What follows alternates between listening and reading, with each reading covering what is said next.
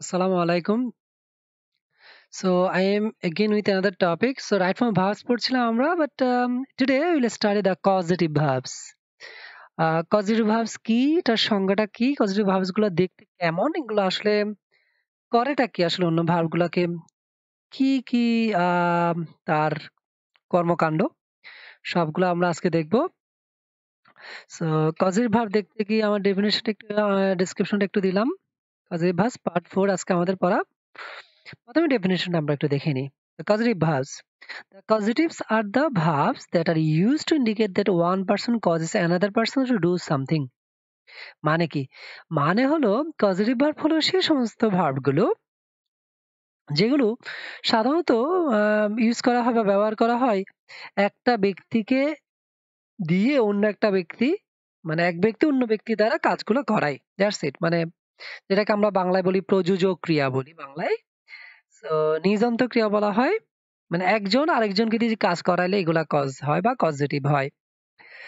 So one can cause somebody to do something for him, her by asking, paying, requesting or forcing the person. So একজন ব্যক্তি আরেকজন ব্যক্তিকে দ্বারা কীভাবে কাজ করতে পারে তাকে জিজ্ঞেস করে বলতে পারে তাকে টাকা দেওয়ার মাধ্যমে তাকে রিকোয়েস্ট করার মাধ্যমে অথবা অনেক সময় বাধ্য করেই কাজগুলো করায় মানুষ। তো এই যে করানো ওটাই হলো আসলে পজিটিভ কজ থেকে পজিটিভ এবার মনে রাখো। সো পজিটিভ ভার্বসগুলো দেখতে কেমন? আমরা একটু দেখে নিই। আমরা দেখতে পাচ্ছি হ্যাভ রাইট এগুলো পারফেক্টিভ হিসেবে আমরা দেখেছি, তাই না? তাহলে হ্যাভ গ্যাট এবং মেক এই তিনটা মেনলি আসলে পজিটিভ ভাবে ইউজ করা হয়। তো আচ্ছা আমরা আরও কয়েকটা দেখব পরবর্তীতে। সো হ্যাভ মানে কি? So to authorize someone to do something মানে কি?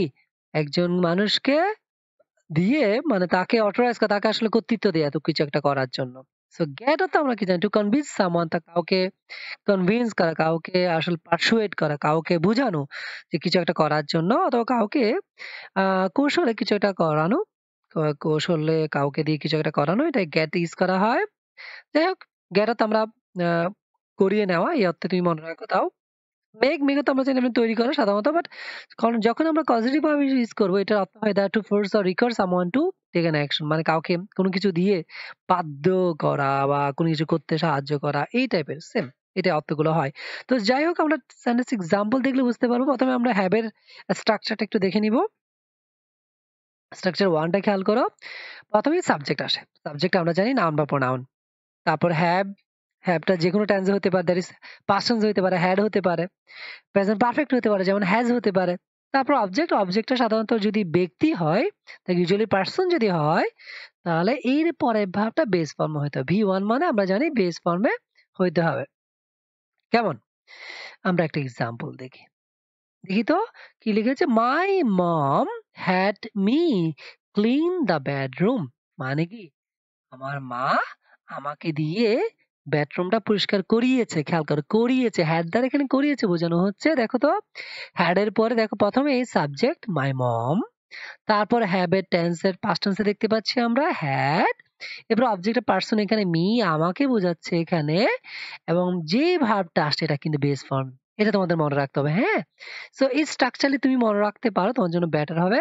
আর একটা এক্সাম্পল দেখব আমরা হি অলওয়েজ হ্যাজ মি সে সব সময় has me do his work মানে সে আমাকে দিয়ে তার কাজটা করায়।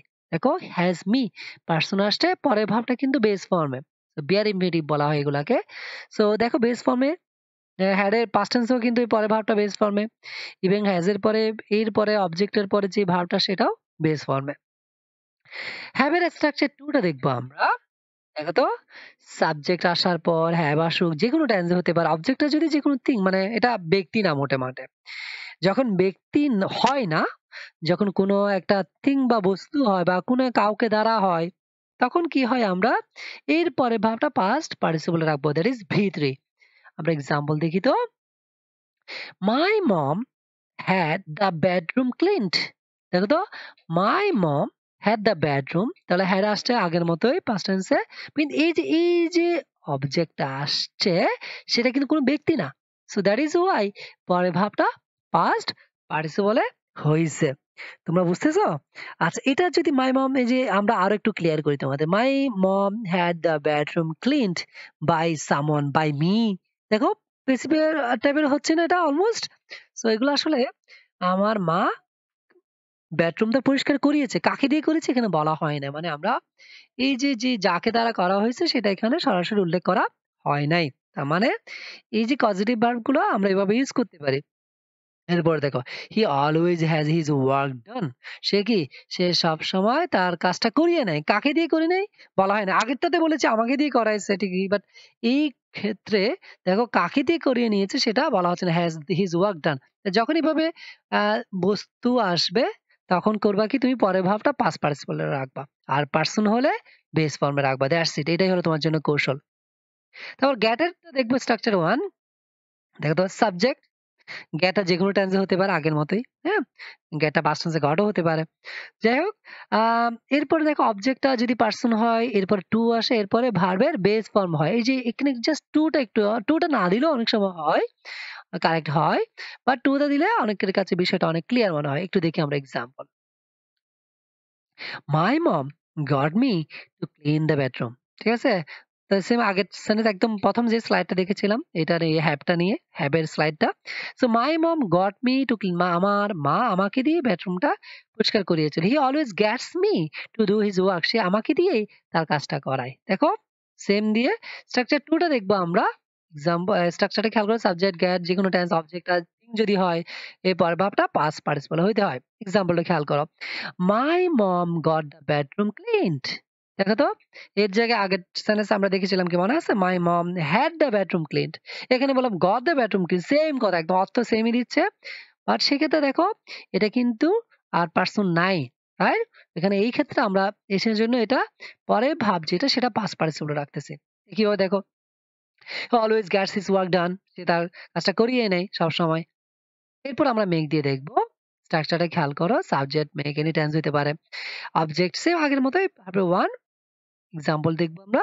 I made my younger brother do my homework মানে কি? আমি আমার ছোট ভাই দিয়েই আমার কা- আমার হোমওয়ার্কটা করিয়ে নিয়েছি। দেখো কজ করতেছি আমি রাইট তার মানে এই মেয়েটা কিন্তু পজিটিভ ভাব এবং এরপরে পার্সনের পরে যে ভাবটা আসে, অবশ্যই বেস ফর্ম হইতে হবে। তাহলে আবার তোমাদের কৌশলটা বলতেছি, যখনই পজিটিভ ভাব আসবে এভাবে, এরপরে যে পার্সনটা আসবে, এরপরে ভাবটা সবসময় তুমি বেস ফর্মে রাখবা। আশা করি তোমাদের মনে থাকবে। একইভাবে he makes me laugh whenever I am upset সে আমাকে সবসময় হাসায়। সে আমাকে সবসময় হাসায় যখন আমি আপসেট বা আমি বিচলিত থাকি।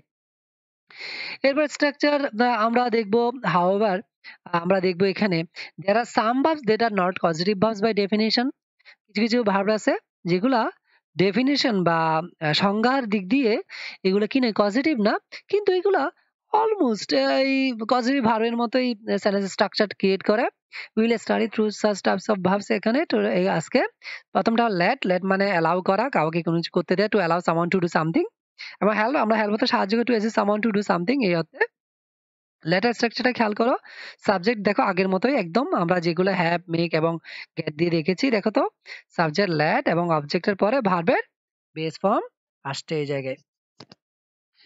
সো আমরা একটা এক্সাম্পল দেখি। He let me finish my story সে আমাকে, আমার গল্পটা শেষ করতে দিয়েছিল, খেয়াল করো ল্যাট এবং দেখো ল্যাটের তো যেহেতু আমরা জানি past tense past participle form একই দেখতে সো এটা নিয়ে আর টেনশন নাই।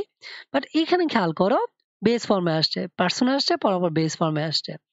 এবং এরপরটাতে I let him drive my car আমি তাকে আমার কার ড্রাইভ করতে দিয়েছি। সো এগুলো প্রায় অলমোস্ট কজের মতোই কাজ করে বলে এগুলা কজি বলা যেতে পারে। হেল্পের এটা দেখো সেম আগের মতোই স্ট্রাকচারটা খেয়াল করো তো he helped me finish my job মানে কি? পার্সনসে এটা? পজিটিভটা এরপরে ভাবটা দেখো পার্সনের পরে ভাবটা কি আসছে এখানে? বেস ফর্মে আসছে। তার মানে কি? সে আমাকে, আমার কাজটা শেষ করতে সাহায্য করেছিল। কীভাবে I help him prepare his presentation মানে কি? তার প্রেজেন্টেশন শেষ করতে আমি তাকে সাহায্য করি। হ্যাঁ? দেখো, পরে ভাবটা বেস ফর্মে আসছে। দ্যাটস তুমি এটাই মনে রাখার চেষ্টা করবা খালি। এরপরে আমরা স্ট্রাকচার টু দেখব হেল্পের যে এটা যদি অবজেক্ট আসে, এরপরে টু আসে মানে তোমরা এই যে বেস ফর্মেই বসে কিন্তু। আমরা আগে দেখেছিলাম স্ট্রাকচার টু গুলাতে দেখেছিলাম সবসময় অবজেক্টের পরে। পার্সন হলে তো বেস ফর্মে বসে। দেখো এক্সাম্পলটা খেয়াল করো। He help me to finish my job মানে কি? সে আমার কাজটা সাহায্য সাহায্য করেছিল। এখানে টু ফিনিশ না বলে জাস্ট ফিনিশ বললে হয় সেম কথা। ঠিক আছে? He help me finish my job শেষ। I help him to prepare his presentation অনেকে টুটা দিতে পছন্দ করে। টুটা না দিলেও সমস্যা নাই। ক্লিয়ার আচ্ছা তাহলে আমরা স্ট্রাকচারগুলো একটু দেখে নিব একে একে হ্যাঁ? প্রথমে বলেছিলাম subject plus have plus object ভার্বে is form আবার subject plus have plus object তিন যদি হয়, তাহলে ভার্বে ভার্ব থ্রি হইতে হবে। একইভাবে গেটের ক্ষেত্রে same subject plus get plus object hmm? Plus to plus base form আবার অবজেক্ট থিং হইলে ভার্বের পাস পার্টিসিপাল ফর্ম আবার মেক দিও সেম হ্যাঁ? অবজেক্ট পার্সন হইলে base form object person let দিও সেম অবজেক্ট পার্সন হইলে বেস ফর্ম তারপর হেল্পের ক্ষেত্রে খেয়াল করো অবজেক্ট পার্সন হলে বেস ফর্ম তারপর হেল্প দিয়ে অবজেক্ট পার্সন টু দিও সেম বেস ফর্ম ঠিক আছে এখানে মেকের আরেকটা স্ট্রাকচার এখানে সামহাউ মিস গিয়েছে এই জায়গায়। সো সাবজেক্ট এবং মেকের পরে যদি অবজেক্টটা যদি পার্সন না হয় যদি থিং হয় এটার মতো ভিতরি হইতে হয়? দ্যাটস ইট হ্যাঁ এটাই গেল তোমাদের জন্য পজিটিভ ভার্বের কিছু ছোটখাটো নিয়ম কানুন তোমরা আশা করি লিখে রাখবে এগুলো। তোমাদের একটা কাজ আমি দিয়েছি যে তোমার you have to write it down in your notebook and there are 13 exercises for you. প্রথমটা আমি একটু বলে দিব তোমাদের জন্য। তোমরা অবশ্যই এগুলো ট্রাই করে অবশ্যই তোমরা আপলোড করবা তোমাদের নির্ধারিত গ্রুপে my mother had me my mother had me খেয়াল করো মাই মাদার সাবজেক্ট হ্যাডটা পজিটিভ বা পাস্ট টেন্সে দেখতে পাচ্ছি ঠিকই, এরপরে কিন্তু পার্সন আসছে না। মি তাহলে কি হবে দেখো তো? ডুটা ডুই রয়ে যাবে চেঞ্জ হবে না। Do the household chores household chores বলে the other day hmm other day মানে কয়েকদিন আগে। দ্য আদার ডে মানে কি? কয়েকদিন আগে। সো এখানে ডুটা আনসার হবে অবশ্যই। এ কীভাবে তোমরা ট্রাই করবা? আরও বারোটা আছে, তোমরা এগুলো ট্রাই করবা এবং you must submit it in your group so আজকে এই পর্যন্তই। সবাই ভালো থাকো সুস্থ থাকো। মে আল্লাহ ব্লেস ইউ আল্লাহ হাফিজ।